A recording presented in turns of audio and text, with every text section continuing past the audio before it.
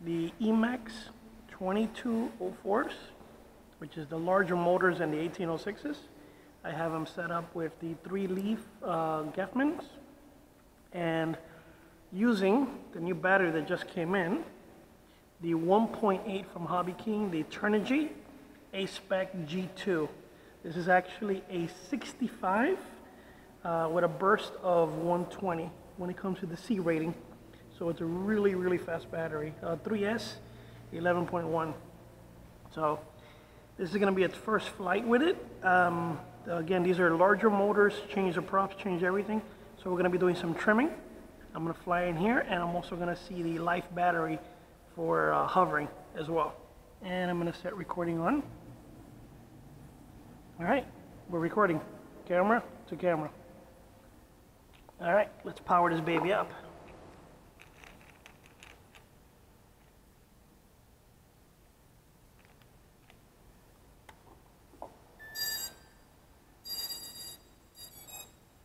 Okay, you got power, we your connection, our trims are all set to zero.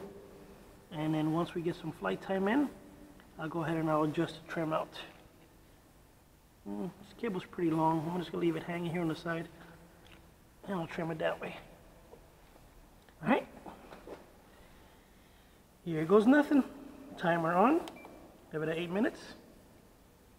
Unlock the motors.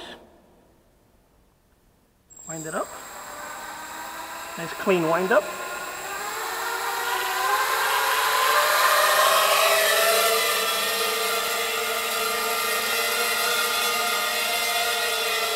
A little bit of pull to the right, to the left. I'm going to go ahead and trim it out to the right.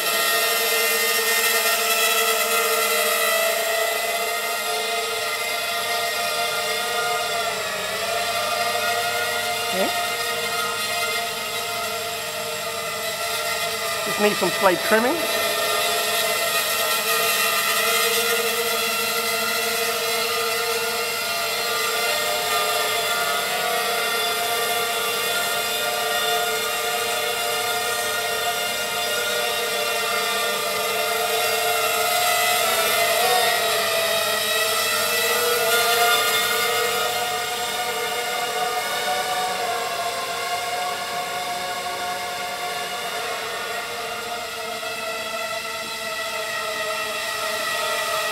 The brakes out. Good. Pretty smooth so far.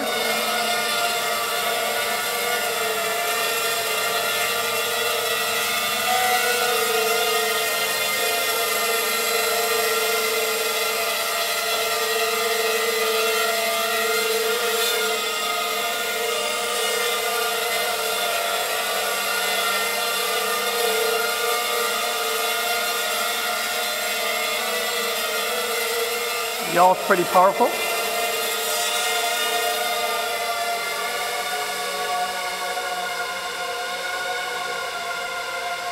Speed's pretty good.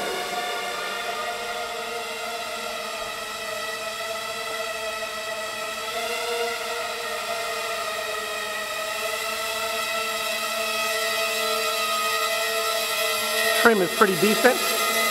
Right there, he's on his own.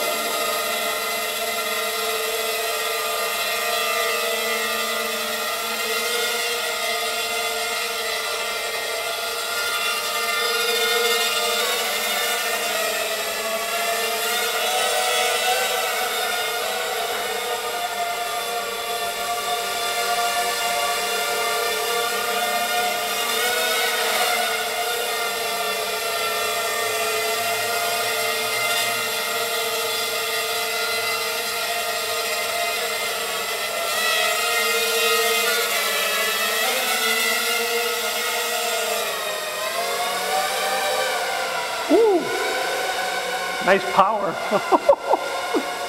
Come on, bring it back. Nice power. Good brakes.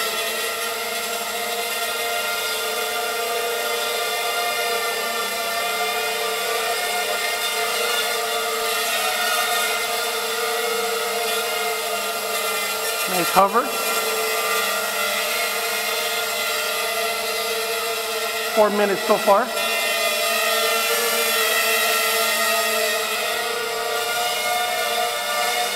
Good reaction.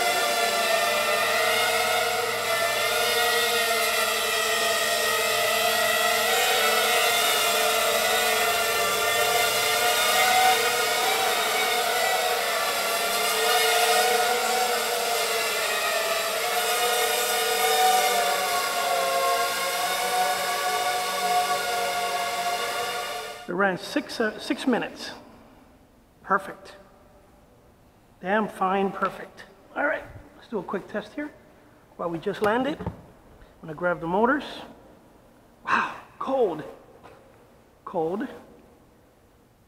Warm. Cold. That is awesome. Okay, ESCs. Perfect. Perfect. Perfect. Perfect. This is absolutely, I am so happy. We got six minutes out of an 1800 battery. It didn't felt heavy. Felt like it could handle more. I'm gonna try 2200 next. Motors, ice cold, which is nice. FPV transmitters, nice and cold. And the battery is slightly warm, which is perfect. That means it was flying at its optimal condition. And this one is the ASPEC uh, G2 2200. So it's a slightly heavier battery, but I didn't feel any drag whatsoever with the 1800 and it felt good. Felt like it still had a lot of power. So now it's gonna be a heavier battery. We're gonna give it a nice weight test. And again, just like before, take off my cap and I'll start recording with the internal camera. This time I'm gonna broadcast, uh, this time I'm gonna broadcast to the FPV monitor and fly strictly FPV on this one.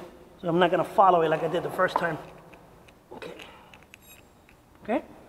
We're set up here, just like before. I'm just gonna leave the cables hanging on the side here.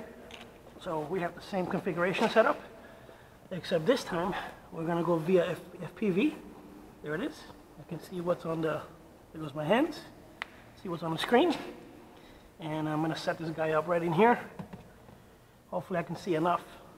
Normally I'm mounted up here. All right, same eight minutes. Arm it up and let's have some fun.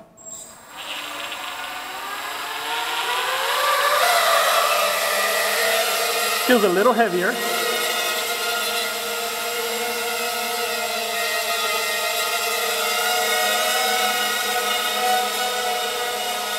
So far so good.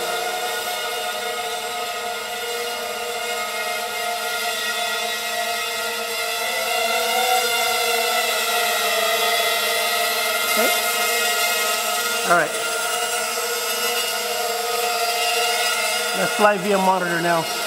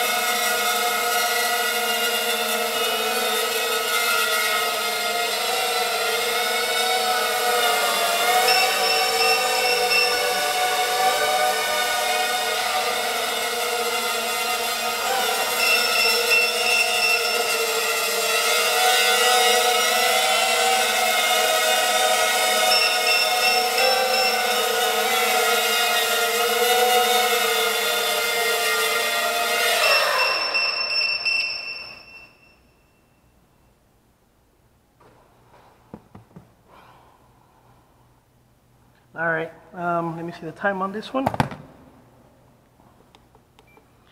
One minute, six seconds. So the other one was two minutes. So this, the 2200 actually gave me one more minute.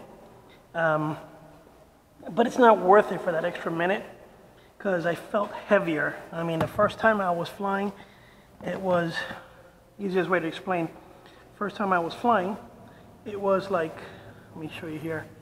It was like, I would decelerate and it does like this and accelerate. With the 2200, it felt like if I was like really bouncing and then when I would pull, it was like a really heavy pull kind of move. Um, so definitely, let me see the motors. Cold, cold, cold, 2200 battery, just lukewarm. ESCs, nice and cold. And let me kill the camera.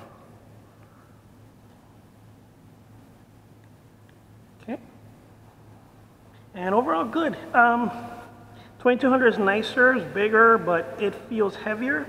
And for one more minute flight time, I don't think it's worth the, um, so I got seven minutes out of this one, and I got six minutes out of the first one. So um, I don't feel that it's worth the one extra minute for that extra weight that I had there. Um, maybe outside in the park, cruising around. Turn off the video here.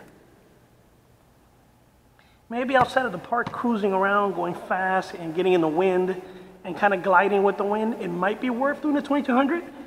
Uh, but actually, the 1800 was just pro for this one. I mean, this right here was perfect, absolutely perfect for this size and build. Uh, 625 grams um, with this battery is absolutely perfect. Six minutes is more than enough time. That's the average for these racers. So I'm happy with that.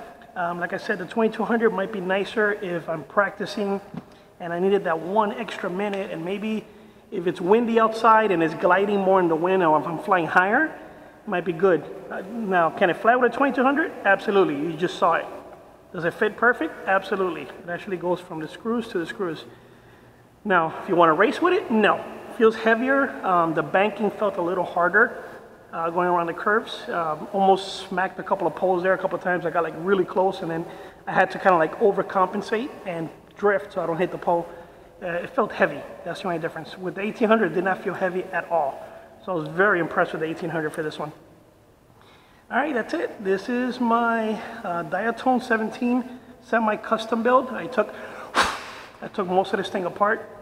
Um, I removed an extra layer of board like you saw in my other video. I have the vibration dampener for the camera. We'll see the playback, how it goes. Um, overall, I'm happy with the build. I'm overall, I'm happy with everything that it does. Um, the garage flying, perfect with these things. I mean, there might be a little vibration on the camera, but it's fine. I'm not doing aerial footage. I'm doing FPV flying. So happy, happy, joy, joy.